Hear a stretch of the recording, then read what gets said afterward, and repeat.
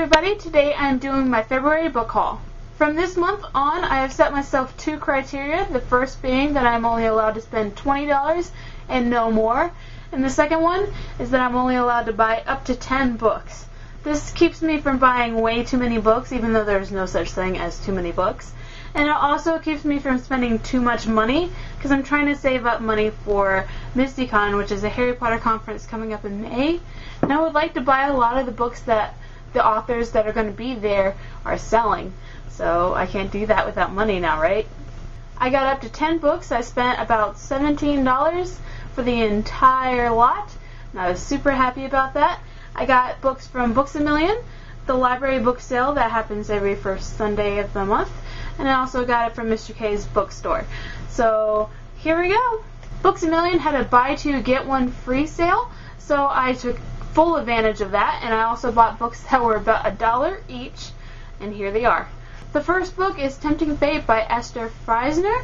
I read the back of this. It's about a girl who has trouble finding a job until she joins a temp agency called Divine Relief, which so happens to be run by goddesses.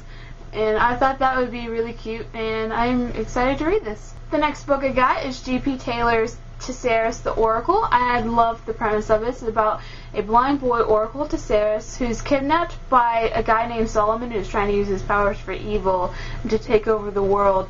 And it's set in a near apocalyptic London, which sounds really cool and I'm just excited to read this. It looks like it's going to be really interesting. The last book I got at Books A Million is Marly's Ghost by David Levithan. I thought this was really cute. It's a Valentine's version of Christmas Carol, and this was also my fourth to be read book in February. I already read it. I thought it was good, and you're just going to have to wait till the review to see how I thought about it fully. The next set of books is from Mr. K's bookstore. The first book I got is Gingerbread by Rachel Cohn. I was really excited that I found a book that was just by Rachel Cohn and not by her and another author. So I picked it up because I'm just really interested to see how she writes solo. The next two books I got from Mr. K's I actually heard about from the Readables, which I will put a link to her channel in the description down below. And the first one is Heist Society by Ally Carter. Every time the Readables talks about this book in her videos, she rants and raves about it, so I was really interested to give it a try, and since it was about $3, I kind of jumped at the opportunity. The next book I got was A Great and Terrible Beauty by Libba Bray. Not only did I want to read this because the Readables read it, I also wanted to read it because I've been wanting to read a Libba Bray book since I saw her at Ascendio. She did a panel about LGBT books, and I've just, uh, she's awesome. She was hilarious, and I just can't wait to read this. On to the library book sale, and this one actually has two books that I've been wanting to buy for a very long time and since I saw them at the library bookstore, I just, I had to buy it. I had to. The first one is Sister Slam and the Poetic Motormouth Road Trip. And this is really cool. I really loved the description on the back, and I'm going to read that to you right now. On the way to a slam poetry contest in New Jersey, Slam's sister and her best friend Twig hit a pig with their car, get pulled over by the cops, fight with one of the judges, lose the contest, get into two more fender benders, fight with each other, and finally land on the front page of a newspaper in New York City. But that's just the beginning of their adventures. And I can't wait to see what else they could get into, because that just seems like a bad time in and of itself. And another thing I like about this book is that it's also in poetry form. And you know how I feel about books that are in different formats. And I'm excited to read this because it looks cool. I love the cover of it. The second book I got from the library is A Savage Damsel and the Dwarf. I kind of basically got this because of the cover. I've been wanting to try and find a good fantasy book that's not based off of a series. And I'm not quite sure if this is based off of a series or not.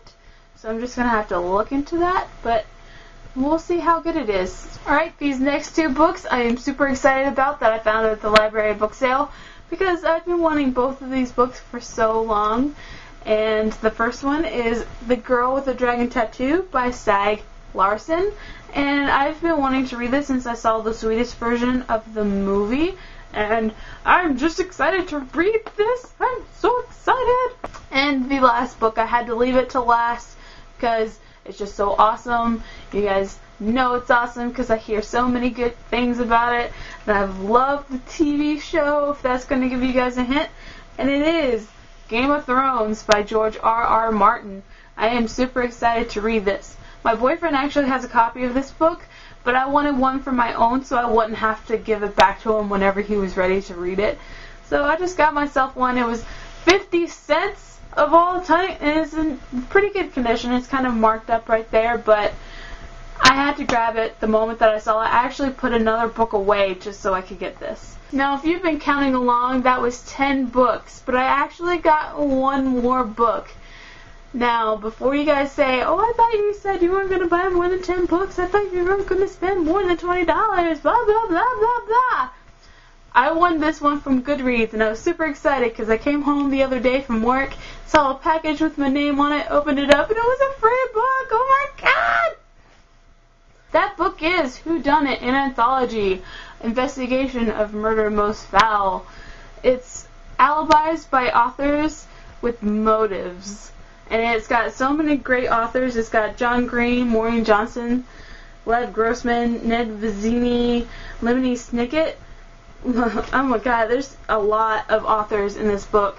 And I'm super excited to read this. This is one of the Goodreads giveaways that I wanted to win the most. So I was super excited that I won it. Oh my god!